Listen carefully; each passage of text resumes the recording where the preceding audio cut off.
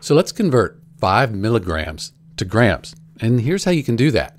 You need to know that 1,000 milligrams, that equals 1 gram. There's 1,000 milligrams in 1 gram. That's our conversion factor. We need that when we're converting here from milligrams to grams or grams to milligrams. Since we're starting off with 5 milligrams, we want to get that to grams. Milligrams to grams, we're going to divide by 1,000, like this. So really, we're just dividing 5 by 1,000. But if you look at the units, we have 5 milligrams, and on the bottom we have 1,000 milligrams per gram, 1,000 milligrams in 1 gram. This way, milligrams on the top here and here, they cancel out. So we're just dividing 5 by 1,000. Move the decimal point 1, 2, 3.